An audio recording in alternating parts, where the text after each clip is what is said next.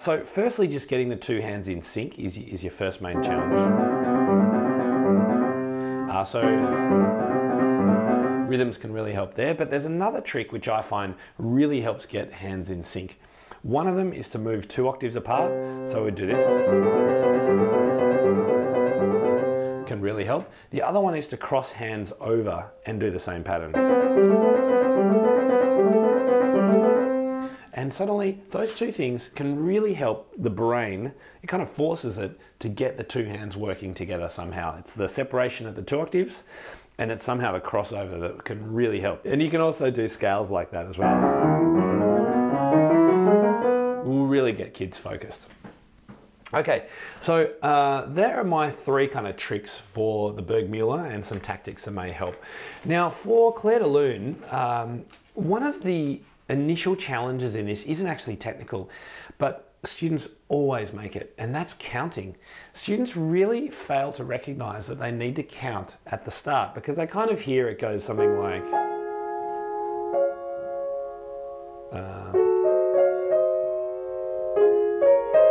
and you'll have students just kind of play through it. They, they have no sense of the timing at all uh, because they've heard it so many times, they're just kind of copying the feel of it. But I think a great option here is just to count out loud the, the three, three groups of three, the nine, eight. So it'd have one, two, three, sorry, one, two, three, one, two, three, one, two, three, one, two, three, one, two, three, one, two, three, one, two, three, one, two, three, one, two, three, two, three, one, two, three. It's amazing how that will surprise the students and how far off the ball they normally are with those. So that's my first tip for Clair de Lune. now another challenge of this one is at the start of page two where we've got the chords happening up here.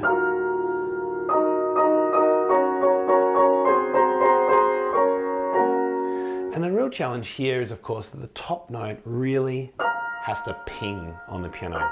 So how do we do that? Well, we've got to put more weight on the pinky finger than the rest of the fingers. So I'll have students, uh, one, one thing to do in this kind of a circumstance is to just play that melody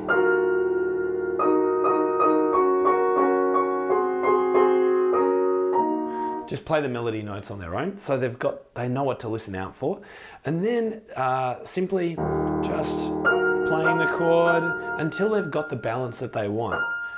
And could they actually play, uh, so I'll do it down the octave here, could they play with the thumb being the strongest as, as a, a chain?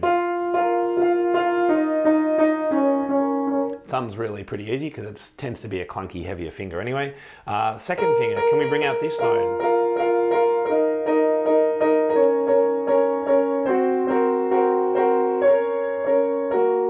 These are great challenges for an advancing uh, and late intermediate student because they will need to be able to balance the notes in a chord. So just playing them, repeating them, and feeling how they can bring out certain notes, they'll just need to practice it over time and it will get better. So that's a really important one. Finally, in any kind of uh, piece of advancing repertoire like this, getting the fingering right and to suit the student is so important. And I made the mistake early on in my career of just giving students um, my fingerings and just sort of saying here's here's the right way to finger a passage. But of course uh, that doesn't necessarily work with students because they don't all have I've got fairly large hands. I can pretty easily play 11ths um, even tenths uh, sorry um, ninths and tenths. Um, that's not going to be the case with all our students, of course. So in a passage like uh, the Debussy again, uh, the top of the, uh, what is it, third page where we've started to get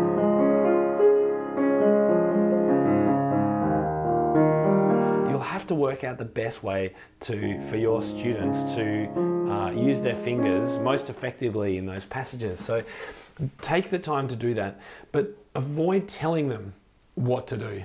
What I always say is let's try a couple of different fingerings and see which one suits you best. So does that work best for the start, the first uh, uh, four notes, and then over? Or is it better for you to go here and then drop, drop the third finger in? It really depends on the student, but by the time they're getting to this kind of repertoire, this early advanced repertoire, they should be able to test a few different fingering passages themselves and then come up with the one that suits best. Of course, I'm more than happy to help them and give my advice and, and see them playing stuff and go, oh, that doesn't look quite right. How about we try this? But I want them to have experimented with a few different options first. And of course, as we know, so many students just kind of ignore fingering or play different fingers all the time. Um, and many of them never write in their fingering, which is uh, something I always try and ask them to do. Okay, the last piece I'm going to um, demonstrate, this is one of my favorites and it's, it's here. It's called uh, Midnight Ride. Pop it up on the overhead camera here. Uh, it's by Melody Bober. It's in my Piano for Leisure books here in Australia, um, but I'm sure available anywhere around the world. And it's a great rollicking pirate-like theme in 12-8. Kids love this one, and it's great for technique.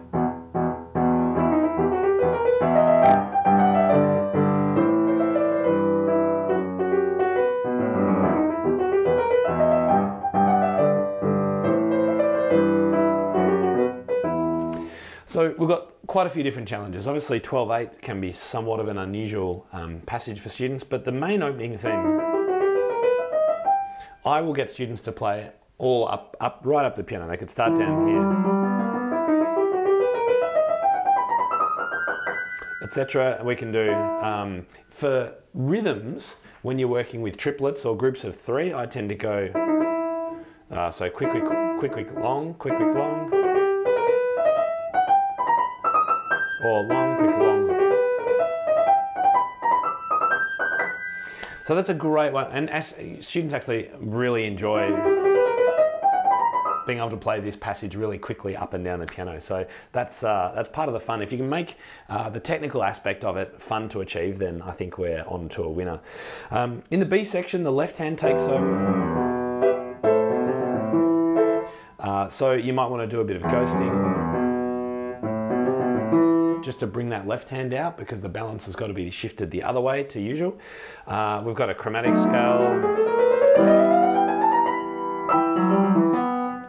Uh, and then we've got this descending passage. And then we're back to the main theme. So pra practicing the crossing over of hands, Students love doing this. And I remember when my, my teacher used to get me to kind of paint up and down the piano when she was working on something like a, a Chopin etude or you know this uh, what is the the Aeolian harp etude, and she'd be like, you've got to paint paint on the keys," and she'd get me to do these motions, just flowing over the top, because that's effectively what your hands will feel like they're doing. Uh, so using that and in this kind of motion, moving down the piano uh, at, at bar 16, where they have this this cascade, can be a really great idea as well. Uh, and finally, we have the coda section, which has a series of arpeggios, crossing hands, almost crossing hands. And then some big grand chords at the end. And it's a really showy piece, and you can teach students. The thing I love about this is, you know, most students will go, and they'll be there finished. So you can really teach them here to make something of it and throw their hands up a bit and make a bit of a performance of it. So it's a great piece. It's got so much in it uh, that students can have fun with, and it really does work um, their aspect, aspects of lots of their technique.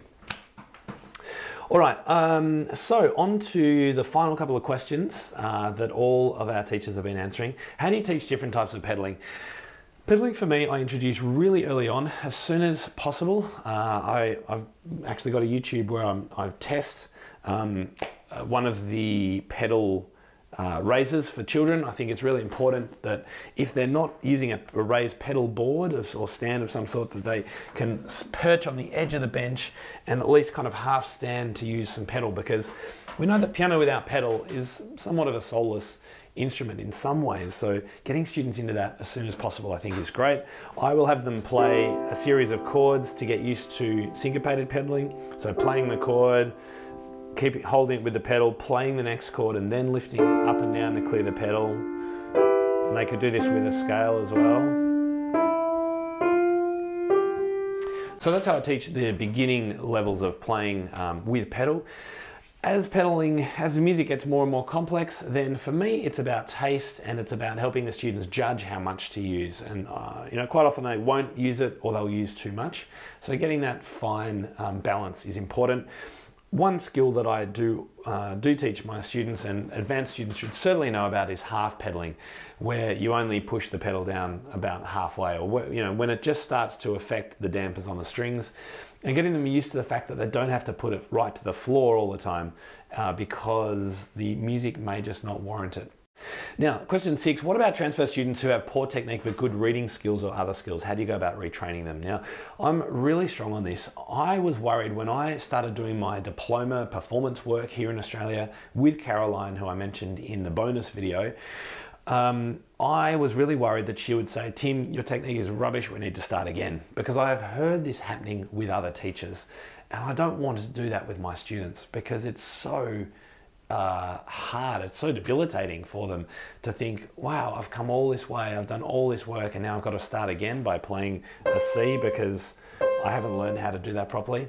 I don't agree with that because I think the chances of actually losing students are far too high. So my approach is to continue teaching the students and work in the technique aspects as we go. So if the student is really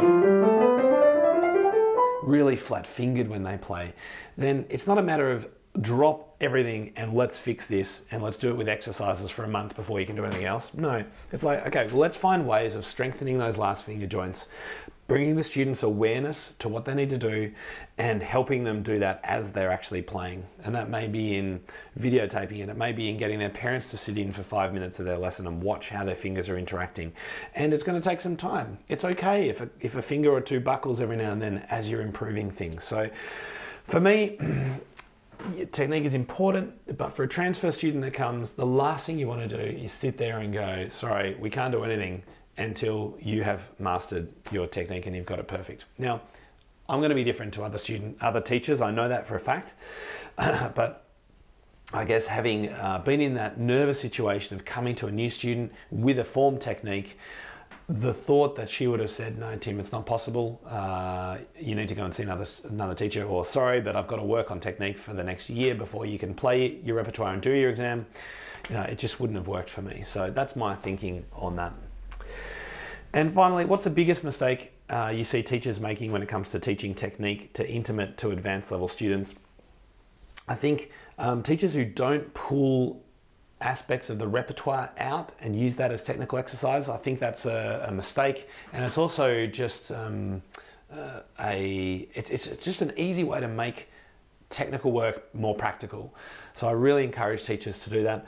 I would also, um, when it comes to the advanced level technique, think about ways you can mix things up. So check out the bonus video that I've recorded because I explore some great, one of my favorite sets of repertoire for um, advancing technique. Um, and also just throw in some new exercises because students, by the time they get to this level, tend to be pretty bored of scales and arpeggios and chromatic scales and things like that. So think about how else you can mix it up. I've got a whole blog post on how to turn off autopilot in scales by doing, you know, two notes in the right hand to one in the left. And if students haven't done this before, even at the advanced level, they're going to find challenges in this. Or if they're doing Chopin um, nocturnes and they need to do a three versus two, can they? Can they do actually that as a technical exercise? So there's lots of ways of keeping it fresh and exciting in my opinion. And that's the biggest mistake I see teachers make. It's kind of doing just more of the same. Just before you go, guys, I want to make sure you're aware of Piano Pivot Live. It's my first ever Piano Teachers Conference and it's being held 23rd and 24th of January right here in my hometown of Melbourne. Beautiful weather in summer, of course. If you want to find out more about it, head to timtopham.com slash conference. It's going to be an incredible experience and I can't wait to welcome you to Melbourne. See you then.